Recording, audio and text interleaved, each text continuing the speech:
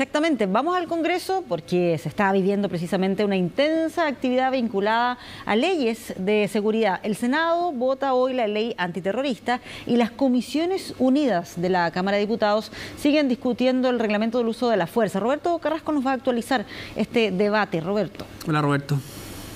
Hola Patricia, Humberto, gusto saludarlos. Muy buenas tardes. Ha sido intenso el trabajo durante esta jornada acá en el Congreso Nacional. Recordemos que los parlamentarios suspendieron su semana, en este caso regional, y se trasladaron hasta la región de Valparaíso para continuar con las votaciones respectivas de este fast track, como se ha llamado, tratar de sacar lo antes posible estos proyectos de seguridad que estuvieron estancados durante mucho tiempo y que en definitiva a raíz de la lamentable situación ocurrida durante la semana pasada se ha puesto una aceleración importante de cara a lo que viene. Bueno, tú lo mencionabas anteriormente, en primera instancia el Senado va a estar votando a eso de las 16 horas, está citada la sala hasta las 19 horas, esta ley antiterrorista que busca modificar la actual y que obviamente tenga más tecnología y más facilidades para investigación respectivamente. Y además en la Cámara las Comisiones Unidas de Constitución y también de Seguridad están en estos momentos eh, debatiendo y votando en particular lo que respecta a la regla de uso de la fuerza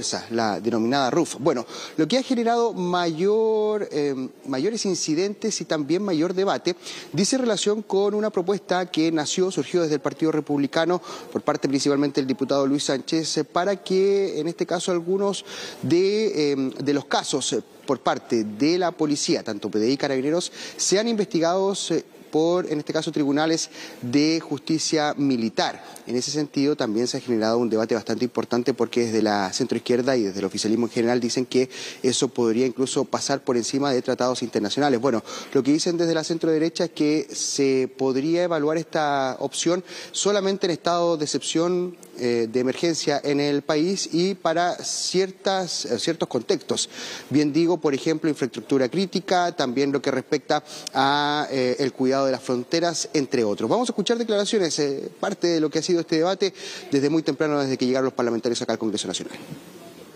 Respecto a lo primero es tener reglas precisas y claras para las policías y las Fuerzas Armadas, con poca subjetividad, con un que no haya tantos deberes, principios, cosas que puedan en definitiva inhibir a nuestras policías y fuerzas armadas que tienen que actuar en una milésima de segundo.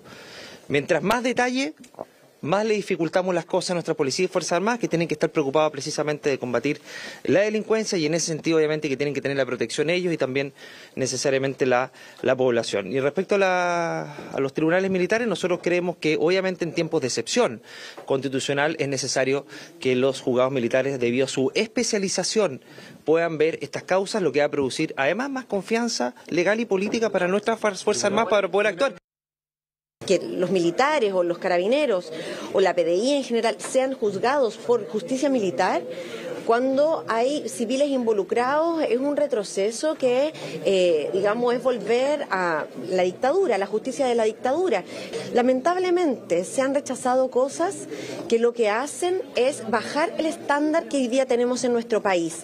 No proteger más a carabineros y a las Fuerzas Armadas eh, cuando tengan que cumplir labores auxiliares al orden público. No es dar garantías de protección a la ciudadanía, es bajar el estándar, es bajar la regulación que existe hoy día incluso en las circulares vigentes de carabineros. Entonces, me parece que aquí se está diciendo una cosa al país por la prensa, grandes titulares, pero que en los hechos no es legislar en caliente, es legislar de manera irresponsable. Ahí tenemos entonces parte del debate de lo que ha sido las declaraciones por parte de los parlamentarios y parlamentarias acá en el Congreso Nacional. Comentarles que se espera que hoy pueda ser despachado a la sala este proyecto de ley y uno de los puntos álgidos más importantes va a ser el debate de esta justicia militar. Vamos a escuchar más declaraciones respecto a esta situación. Incluso uno de los eh, eh, promotores de esta idea eh, nos comenta a continuación precisamente este concepto. Yo creo que estamos todo menos legislando en caliente. Si es que estamos teniendo que sacar este proyecto de ley rápido hoy día es porque durante meses esta comisión no sesionó porque el mismo gobierno bloqueó su avance. El gobierno no tenía los votos acá para sacar un mal proyecto de ley de reglas de uso de fuerza como el que estaban impulsando eh, y tuvieron trancado y entrampada la, comisión, no sesionamos durante meses. Entonces aquí, eh, evidentemente, y lo hemos visto en los últimos días, se han aprobado algunas cosas que a los republicanos no nos dejan muy contentos y al final va a ser hacer toda la diferencia es que estos casos son juzgados por los mismos jueces penales, eh, impulsados por los mismos fiscales que ya conocemos, gente como la fiscal Chong, gente como el juez Danilo Urrutia, en quienes no podemos confiar y en quienes los chilenos ya no confían. Yo diría que hay una desconfianza clásica de la derecha a la justicia cuando le conviene, porque ustedes saben que hay un profundo doble estándar. Parte de la oposición, espero que no todo, lo que quieren aplicar es la justicia militar, la justicia militar que funcionó en la dictadura de Pinochet. Es la misma justicia militar donde el fiscal militar es el mismo el que investiga, el que acusa y el que dicta sentencia. Es el mismo fiscal militar que no garantiza el debido proceso y es la misma justicia militar que cuando tiene que decidir quién es responsable, si un militar o un civil, por la naturaleza propia de su profesión, van a buscar defender y buscar impunidad hacia el militar y castigar al civil. Se ha hablado de una coordinación tripartita por parte del Ejecutivo, también de los presidentes y vicepresidentes de la Cámara y del Senado para tramitar estos proyectos lo antes posible, pensando también en la premura que hay en materia de seguridad. Vamos a escuchar precisamente declaraciones de la presidenta de la Cámara de Diputadas y diputada, la diputada del Partido Comunista, Carol Cariola, quien se refiere al trabajo que están realizando en esta materia. Nosotros creemos que lo más importante en este momento es hacernos cargo de esa urgencia y hemos concordado y ya lo habíamos conversado también con el presidente del Senado, poder sacar adelante con agilidad dentro de los plazos que nos podamos disponer entre las distintas actorías los proyectos que quedaron pendientes del fast track que se desarrolló el año pasado. En eso todavía está pendiente las reglas del uso de la fuerza que debiéramos despacharla esta semana de la Cámara de Diputados y Diputadas, la ley de inteligencia que ya inició y adelantó su tramitación durante esta semana de trabajo legislativo que incorporamos adicionalmente a nuestra Cámara de Diputados y Diputadas. Lo mismo respecto del proyecto de ley que crea el Ministerio de Seguridad Pública.